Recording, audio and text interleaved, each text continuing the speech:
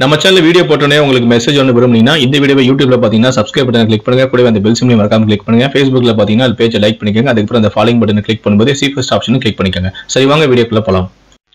சென்னை தாம்பரத்தை அடுத்த கிழக்கு தாம்பரம் ரங்கநாதன் தெருவைச் சேர்ந்தவர் தான் ஸ்னேகா வயது பத்தொன்பது. இவருக்கு கடந்த எட்டு மாதங்களுக்கு முன்பு பனையூரைச் சேர்ந்த காதலனான பிரமோத் வயது இருபத்தைந்து என்பவுடன் திருமணம் செய்து வைத்துள்ளனர். வரதட்சணையாக பதினைந்து சவரன் நகை மற்றும் சீர்வயசையும் செய்துள்ளனர். முதலிரவு முடிந்தவுடனே மாப்பிள்ளை வீட்டார் கூடுதலாக வரதட்சணை கேட்டு கொடுமைப்படுத்தியதாகவும் கூறப்படுகிறது. மேலும் பெண்களுக்கு சமைக்க பெண்ணுக்கு சமைக்க தெரியவில்லை என்று குற்றம் சாட்டியும் வந்துள்ளனர்.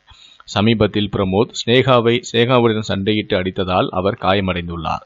இதனால் கோபித்து கொண்டு கடந்த மாதம் ஸ்னேகா தன்னுடைய பெற்றோர் வீட்டிற்கும் வந்துள்ளார். அடித்ததில் காயமடைந்த ஸ்னேகாவிற்கு சிகிச்சையும் அளித்துள்ளனர்.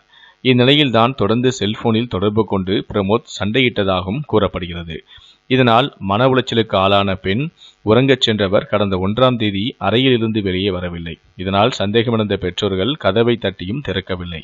பின்னர் கதவை உடைத்து உள்ளே சென்று பார்த்தபோது தூக்கில் தொங்கியவாறு இறந்து கிடந்தார்.